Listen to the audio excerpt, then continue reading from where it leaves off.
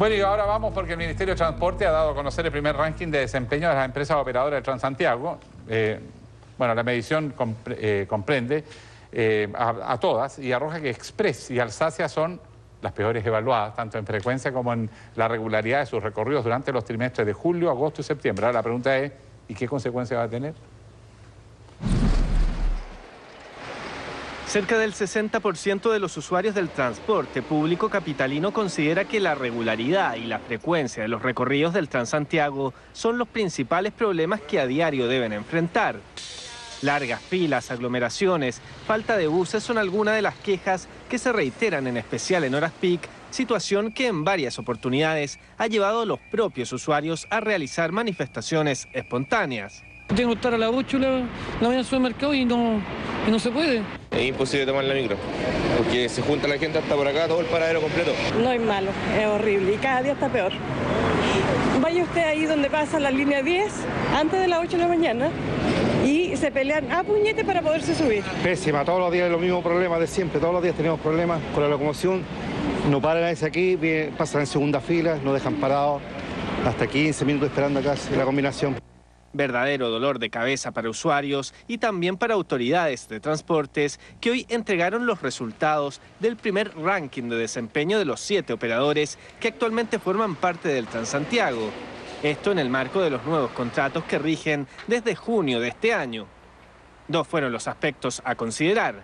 La frecuencia que mide la cantidad efectiva de buses que cada empresa dispone en sus trayectos y la regularidad que calcula el tiempo real transcurrido entre buses de un mismo recorrido. En ambos, Express y Alsacia quedaron en los últimos puestos por debajo del mínimo exigido.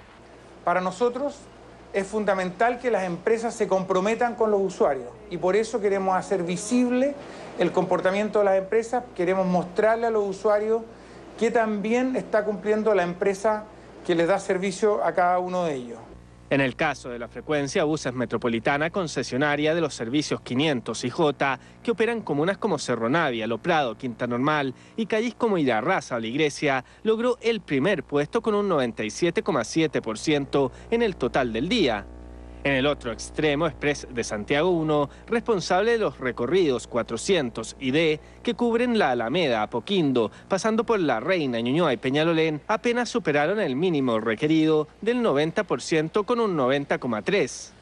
En tanto, para el indicador de regularidad, cuyo piso mínimo de satisfacción se ubica en el 80% de cumplimiento, nuevamente Buses Metropolitana muestra los mejores índices con un 87,4%, mientras Alsacia no cumplió los parámetros establecidos en ningún tramo, anotando un 76,9%. Se establecen distintas medidas, como, como decía antes, las primeras medidas van por el lado de los descuentos, de las multas, de acciones administrativas, y evidentemente en el peor de los casos esto podría significar que una, una empresa tenga que salir del sistema.